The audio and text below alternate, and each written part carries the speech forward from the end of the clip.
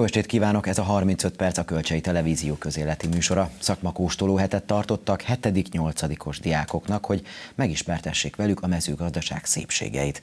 Hogy hogyan sikerült, majd kiderül a műsorban, de nézzük még az ajánlatot. Fejlesztések Rakamazon. Megújult az egészségháza településen. Szakmakóstoló, az agrárképzést népszerűsítették diákoknak. Országos elismerés, a magyar állatkertek első embere lett Gajdos László. Néhány hete adták át a felújított egészségházat Rakamazon, és már most utakat korszerűsítenének a településen, mintha nem ártott volna a pandémia Rakamaznak. Vendégem a település polgármestere Bodnár László, jó estét kívánok! Jó estét kívánok! Ártott a pandémia? Mint az egész országnak, tehát nálunk is felütötte a fejét, ártott, ártott, de mentünk előre is, fejlesztettünk. Költségvetés szempontjából ez meghatározta a település életét?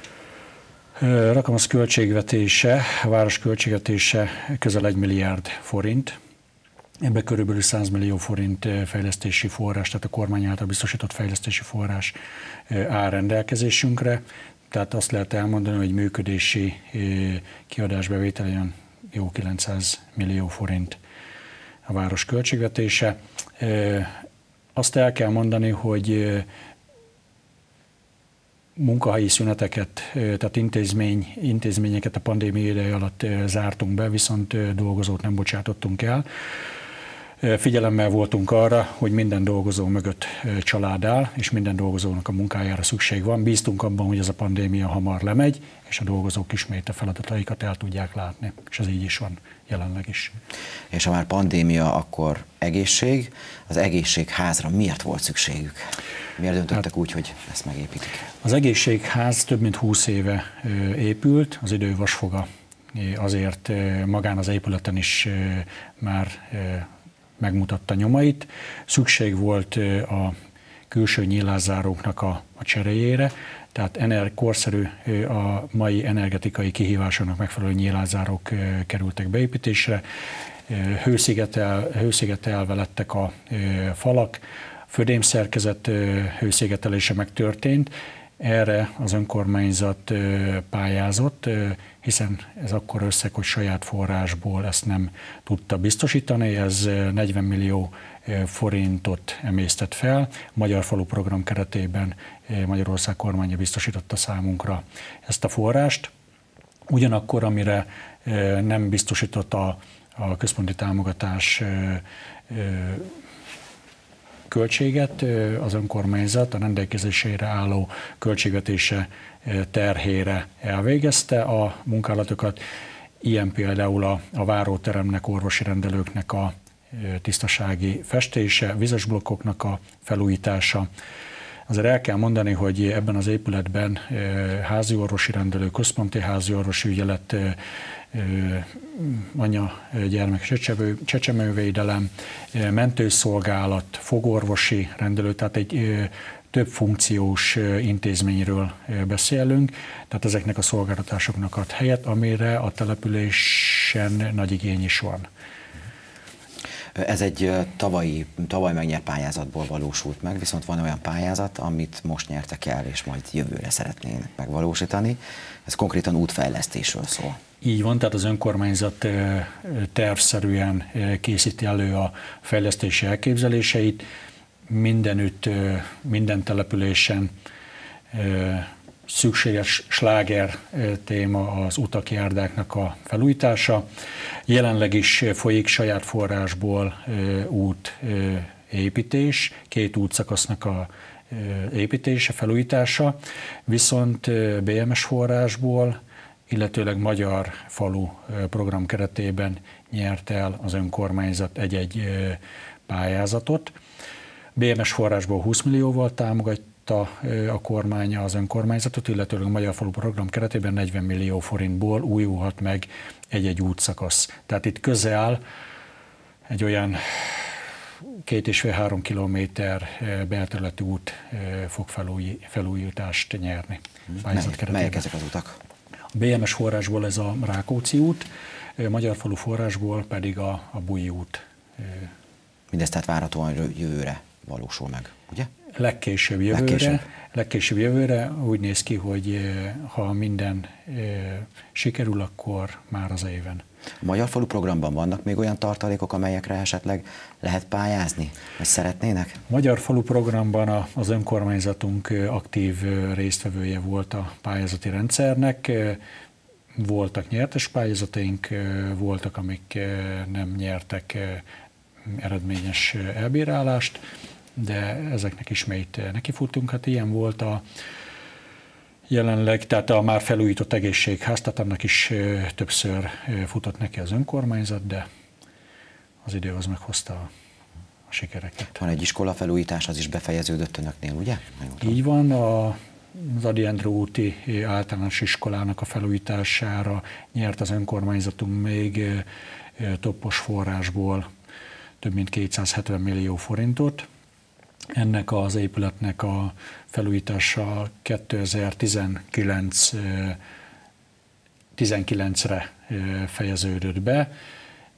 Ezúton szeretnék mondani köszönetet a szülőknek, gyermeknek, pedagógusnak a, a türelemért, amit ők ott tanúsítottak a beruházással kapcsolatban. Beszéljünk egy kicsikét a turisztikáról, a turizmusról. Ugye hát Tokaj szomszédságában vannak, ebből mennyire tudnak vagy szeretnének profitálni a közeljövőben?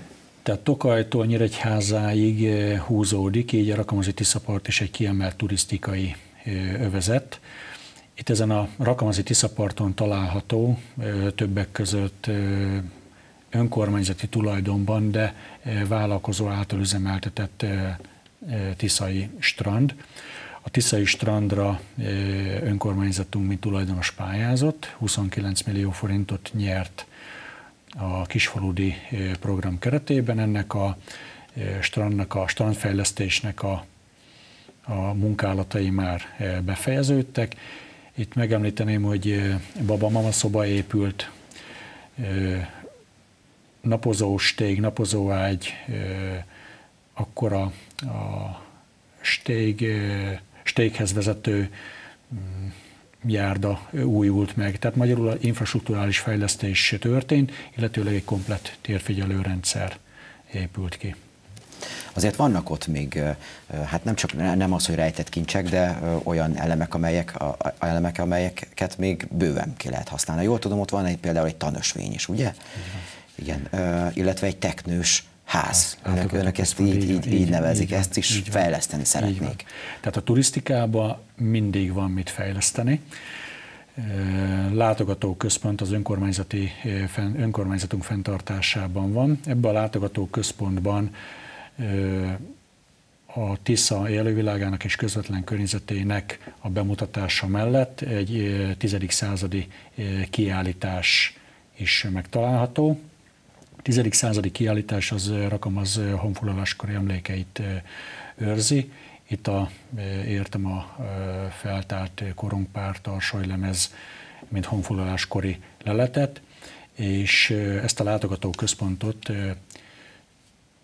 minden korosztály nagy számban látogatja, de ki kell emelni a diákokat, hiszen itt élő történelem óra, illetőleg interaktív kiállítás keretében bevonásra kerülnek aktív részesei ennek a kiállításnak, és egy úgynevezett turultúrán vesznek részt, ahol versengenek és játékos módon, illetőleg oktatva ismerik meg a történelmünket.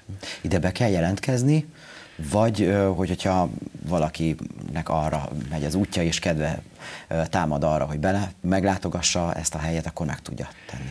Célszerű bejelentkezni, tehát csoportok, tehát hogy nagyobb létszámú csoportok vannak, akkor a dolgozóink úgy osztják fel egymás között a csoportokat, hogy mindenkire egyforma idő, illetőleg egyforma tudást, ismeretanyagot át tudjanak adni. Viszont, hogyha valaki betoppan, nyitva áll a látogatóközpont előtte. És ott van önöknél még a Nagymorotva is. Így van, a Nagymorotva ez egy eh, nagy természeti kincs. 2000-es években volt, 2000-es eh, évek elején volt eh, részlegesen kotorva. Viszont ez egy a Tiszának a holtága, amivel most az a tervünk, hogy egy összeköttetés legyen a Tiszával, és ezáltal a vízmozgás biztosítva legyen, így az elmocsarosodást késleltetni, elhúzni. Ez lenne a cél, illetőleg egyre több vállalkozás nyitja meg kapuit, gondolkodik a, a falusi, falusi turizmus iránt, és ez a Nagymorodva egy szenzációs lehetőséget kínál, hiszen itt a, a, nem csak a horgászturizmus az, ami jelenleg virágzik a Nagymorotván, itt a kajakozástól kezdve, tehát a víziturizmusnak a különböző ágait is érdemes kihasználni. Tehát akkor a Nagymorotva környékén is vannak még potenciális így van, lehetőségek. Így van. A szakigazgatóságot azt mennyire tudnák bevonni ebbe a munkába, Itt, mint ahogyan például Nagykálónál a harangodi víztározó esetében Így van, történt. ennek a Nagymorotva rehabilitációnak az előkészítő, előkészítő munkái folynak jelenleg is. Azért meg kell említeni, hogy nem egy egyszerű fejlesztés, hiszen Natura 2000-es terület. Itt egy természetvédelmi területen soha nem egyszerű olyan beruházást tenni, hogy mind megfeleljen a turisztikának, mind pedig az ökológiai egyensúlyt megőrizzük. Itt a Hortobányi Nemzeti Park igazgatósággal, a Debreceni vízügyi igazgatóság, Felső Tiszavidéki vízügyi igazgatás és a Miskolci vízügyi igazgatósággal megtörtént az egyeztetés, helyszínbejárás folyamatos, mindenki elmondja az általa támasztott, illetőleg javasolt fejlesztési elképzeléseket, és ennek a, ezeknek az elképzeléseknek az összegyúrása folyik, és terv szerint majd ezt viszont uniós forrásból tervezi az önkormányzat felújítani. Polgármester úr, köszönjük szépen, hogy itt voltál. Én köszönöm. Szakmakóstoló hetet tartott az Északi Agrárszakképzési Centrum és a Nemzeti Agrárgazdasági Kamara. 20 általános iskolásnak mutatták be a mezőgazdaság szépségeit több helyszínen. Az volt a cél, hogy kedvet csináljanak az agrárközépiskolák képzéseihez. Ott volt Hudáki Zoltán kollégánk is. Póniló szőrét keféli ez a lány az apagyi tangazdaság területén. A fiatalokat a szél és a szokásosnál kicsit hűvösebb idő sem zavarta az elmúlt héten. A hatodikos, hetedikes diákok a megyek különböző általános iskoláiból érkeztek. A pályaválasztásokat szerették volna megkönnyíteni a gazda szakma szépségeinek bemutatásával. Innen kezdjük. Szőrirányban szépen kikeféljük a szőréből a szennyeződéseket. Erősebben nyugodtan, nem fáj az neki. Milyen állatokkal ismerkedtetek meg? Legfőképpen szarvasmarhával, disznókkal és kálmánnal alóval. És vele most éppen mit csináltok, mit tanultatok Ö, róla? Ugye az előbb lekörmöltük, utána pedig leápoltuk, lecsutakoltuk. Te már csináltál korábban ilyeneket? Ö, egyáltalán nem. És hogy tetszik? Ö, nagyon szeretem, mivel imádolom a lovakat, szóval nagyon tetszik nekem ez a program. Az állattartás feladatai mellett a kertészettel, mezőgazdasági gépészettel és tejfeldolgozással is megismerkedhettek a diákok a szakmakóstoló hét keretében. Ezek a programok az Agrárkamara finanszírozásában teljes mértéken ennek a segítésére jönnek létre, hogy minél korábban megtudhassák a fiatalok, hogy mi is az, ami iránt érdeklődhetnek, illetve mit nyújt az a szakma, mit kell ott végrehajtani, kvázi az életét rámerje erre a hangsúlyt helyezni ebben a tekintetben, hogy megélhetést magának is, illetve majd későbbiek során a családjának is biztosítson. Hogyha már megélhetés, ez az ágazat mennyire tud biztos megélhetést nyújtani, hiszen azért az időjárás változásait nem tudjuk előre kiszámolni, és azért ez például egy olyan tényező, ami jócskán megnehezíti mondjuk a ilyen területen dolgozók munkáját. Természetesen ez nem új keletű probléma, hogy a mezőgazdaság az az időjárásnak kitett, azonban azt kell mondanom, hogy a 21. században élve már azzal kell számolnunk, hogy a termésbiztonságot tudjuk növelni,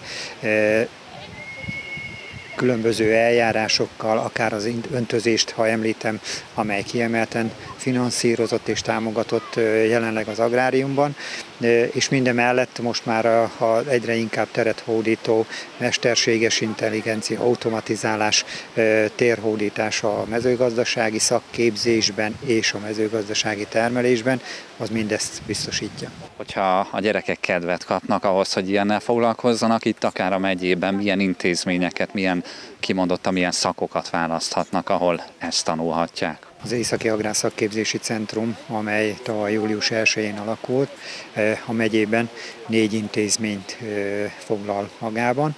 Máté Szalka, Nyíregyháza vonatkozásában két intézmény, a Lippai, illetve a Vescsik, illetve Bakta Lórántháza a negyedik. Ezek az intézmények a mezőgazdasági és erdészeti ágazat, illetve az élelmiszeripari ágazat területén oktatnak szakképzéseket, és mezőgazdasági gépész, pékcukrász, erdész, erdészeti szakmunkás, kertész, mezőgazdasági gépésztechnikus, mezőgazdasági technikus, cukrász, élelmiszeripari technikus, gépésztechnikus szakképesítéseket emelnék ki, mert természetesen nem soroltam fel mindegyiket. Oldalra citrom, illetve kakukkfűt ültettünk, ide rozmaringot, eper, epermentát, csokimentát, citromfüvet és basalikomot. A fiatalok az öt nap során magas ágyást is készítettek, és különféle fűszernövényeket ültettek. Itt most kimondottan a kertészkedés kapcsán milyen eszközöket, vagy milyen folyamatokat mutattak be nektek? Először is összeállítottuk a magas egyesben a földet, hogy a növények számára megfelelő legyen, majd az ültetővel kiszedtük a földet, hogy a növényeket bele tudjuk ültetni. A gyökereiket kivettük a cseréből, meglazítottuk a gyökereket, először is belocsoltuk a földet, amiben beletesszük, majd beleültettük a növényt, és utólag is meglocsoltuk. Mennyire voltak neked ezek új dolgok, mennyire találkoztál már életed során ezekkel? Mi nagyon sok virágot ültetünk, szinte minden évszak elején, és hát nekem annyira nem volt újdonság, de nagyon szeretem csinálni. Kuplunkat benyomjuk. Kuplunk? kuplunk. A kuplunk. Nem az a kuplunk. Nem az a, nem az a kuplunk. ahol van a lábad. Pont amin a lábad van. Azt, azt nyom nem, le, nyom pont amin a lábad van. Nyom le, igen. igen nyom. nyom. le. Jó. Teljesen, teljesen, teljesen nyom le. És akkor indít, indítjuk.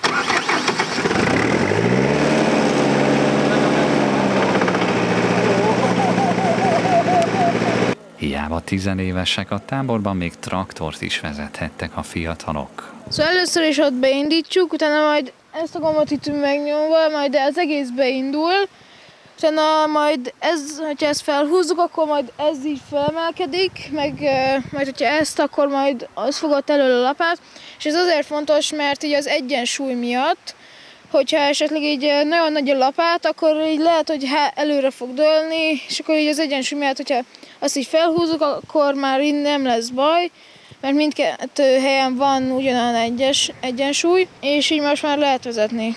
Mit tetszett a legjobban? Milyen jó programok voltak hát, itt? A kedvencem az az volt, amikor az lehet, hogy most furán fog hangzani, de amikor így összeszereltük így a gépeknek így a hibrides csövét, mert ez, na, hát ez jó volt, ilyen szerelős feelinge volt, és ez nagyon, nagyon tetszett nekem, így ahogy összeszereltük. Nekem azt tetszett a legjobban, amikor uh, tegnap kitereltük ezeket a marhákat. Na, az nekem is nagyon tetszett, az nagyon jó volt. Volt villanypásztor, tök jó Igen, volt. Tök jó volt. Az apagyi helyszínen 20 gyerek vett részt, akik négy csoportban minden nap más-más feladatba láthattak benne. Milyen létesítmények, eszközök vannak itt a tangazdaság területén, amiket megismerkednek, és mik a tapasztalatok, hogy melyek tetszenek a legjobban a gyerekeknek ezek közül? Mi a tangazdaságot, ezt évközben oktatásra használjuk. Tehát itt a mezőgazdasági szakoktatásnak a, a területeiről megtalálhatóak azok az eszközök, felszerelések, állatállomány, növénytermesztéshez kapcsolódó dolgok, amelyek a gyakorlati oktatásnak a feltételeit biztosítják. Növénytermesztésben, kertészetben, az állatok közül szarvasmarhával, juhval, sertéssel, pónival találkozhattak a gyerekek. Egyébként itt mennyien dolgoznak, hogy mik azok a feladatok, amiket mondjuk itt a mindennapokban, amikor nincsenek itt a gyerekek, ellátnak? Az állattartás az napi szinten ad feladatokat az állatgondozóknak, ők rendesen um, munkaerőként, tehát alkalmazottként itt dolgoznak a, az állattartásban. Ezen kívül abban az időszakban, amikor oktatás van, akkor gyakorlatra jövünk ki a középiskolás gyerekekkel már, és akkor mi is besegítünk a munkákba. Ez a nyári időszakban is van, van, mert nyáron összefüggő szakmai gyakorlatuk van, és nyáron is szoktunk itt lenni oktatáson a gyerekekkel. Oldalon pályaorientációs programok közül nem ez az első, a korábbi évek tapasztalatai mit mutatnak ezekkel a gyerekekkel, akikkel akár most itt találkozunk, nagy eséllyel találkozhatnak önök később is már középiskolásként? Igen, én úgy gondolom, hogy akik hozzánk jönnek, és látva ennek a pár napnak a tapasztalatát, ezek a gyerekek nagyon, nagyon lelkesek, nagyon, nagyon megfogta őket, természetesen azért választották ezt a tábort, mert érdekli őket a mezőgazdaság, érdeklik őket az állatok, a növények, és hogyha egy kicsit jobban belelátnak, akkor reméljük, hogy kedvet kapnak ahhoz, hogy ezt is tanulják tovább. Általában úgy érkeznek ide, hogy még abszolút újak nekik ezek az ismeretek, és nem találkoztak ö, ilyen eszközökkel, nem ültek még traktoron. Ö, mik ilyen téren a tapasztalatok? Változó, változó, és vannak végletek. Vannak olyan gyerekek, akik lakótelepi lakásban laknak, és nem nagyon voltak még természet közelben, teljesen új nekik ez a felfedezik, ők az óvatosabbak, és vannak természetesen olyanok, akik otthon is gazdálkodnak, és van már most is, akár a hatodikosok közül is olyan, aki nem először ült traktoron, és akár saját maga is vezethetné. A szakmakóstoló hét több más helyszínen is zajlott az elmúlt napokban. Volt, ahol kombájnokat, bálázókat mutattak be a fiataloknak, máshol a fémtechnológia rejtelmeiben nyerhettek be pillantást.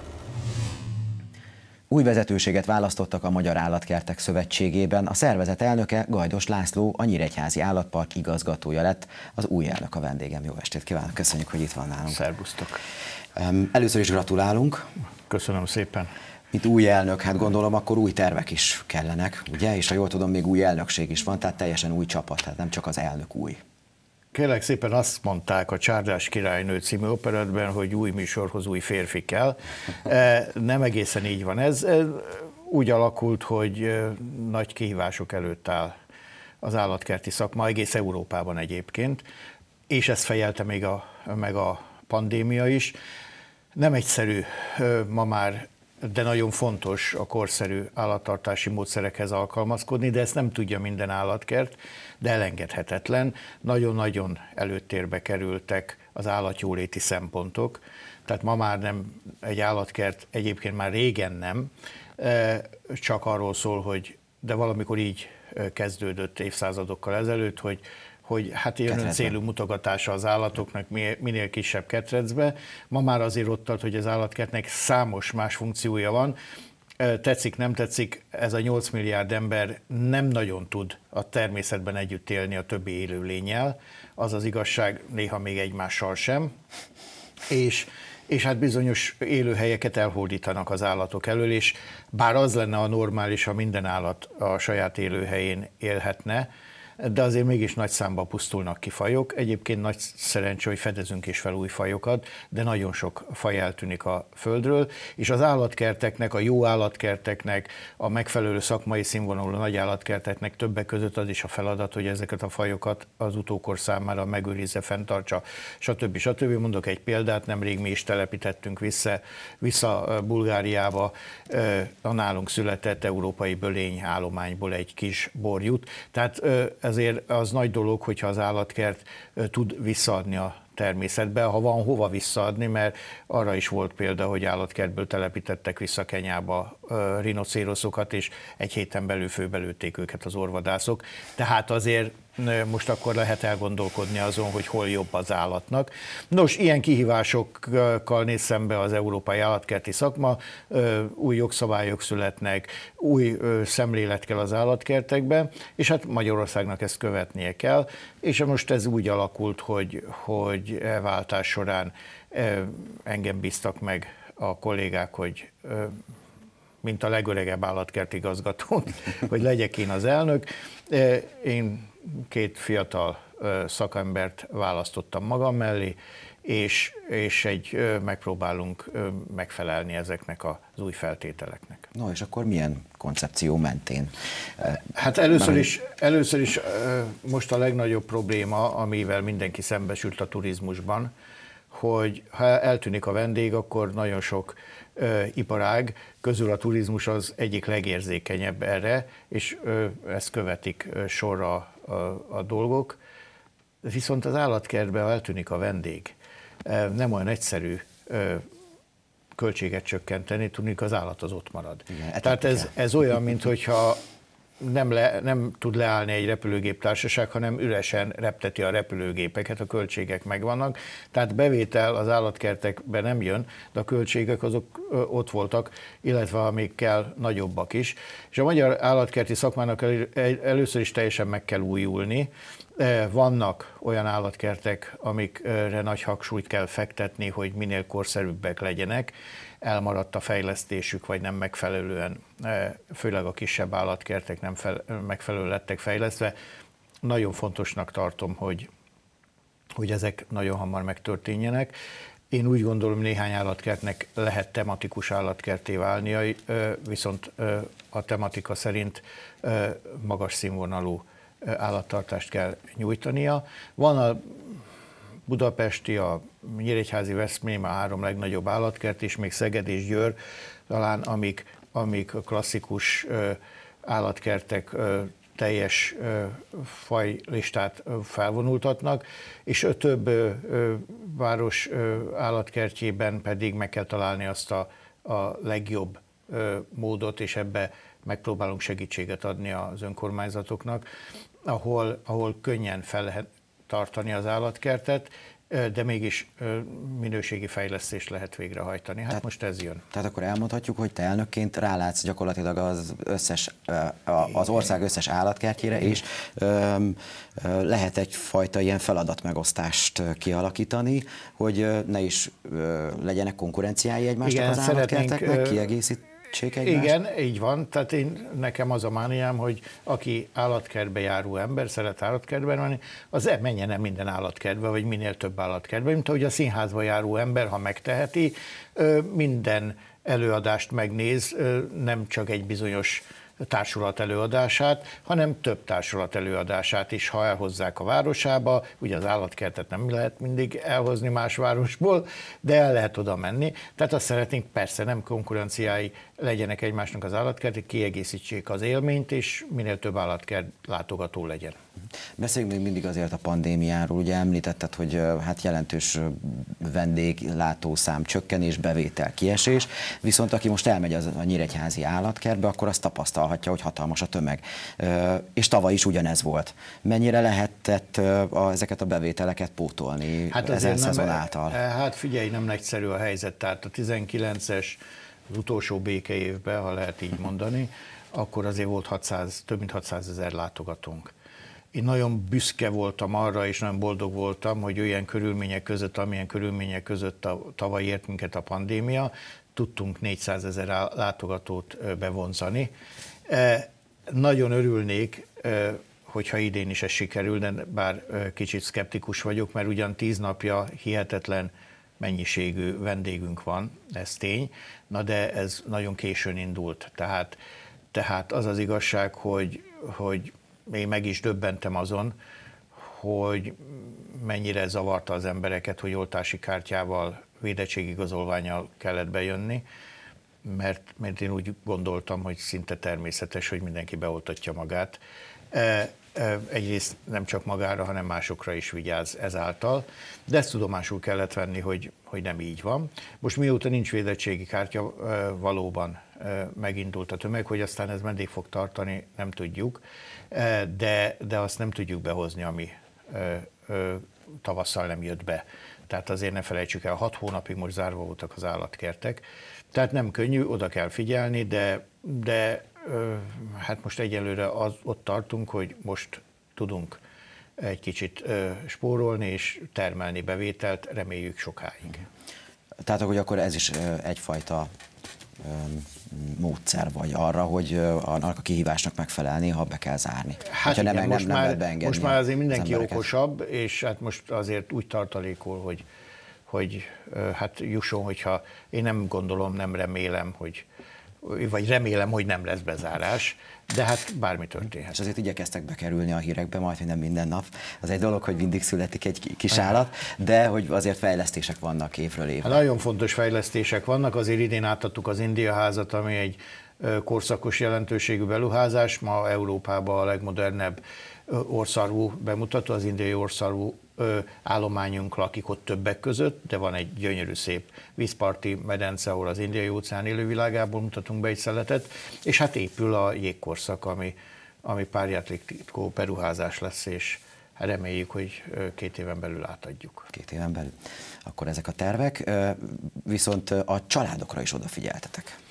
Hát igen, mert egy picit később, mert tavasszal szerettük volna, de azért a nyári szezonra átadtuk az afrikai játszóteret, aminek nagyon nagy sikere van, és annak tövében van egy úgynevezett babaház, amire nagyon büszkék vagyunk, mert ez egyedüli a mai állatkerti történelemben. Egy olyan mosdó és WC, ahol a kismamáknak szoptatószobát rendeztünk be, illetve külön van baba pellenkázó. Ez egyébként több helyen is volt a parkban, de ez oktatós szoba nem, és hát úgy gondoljuk, hogy egy nagyon korszerű, látványos mosdó fogadja a vendégeket. Köszönjük szépen! Eddig tartott ma 35 perc, legközelebb hétfőn várjuk Önöket. Köszönjük figyelmüket, viszontlátásra!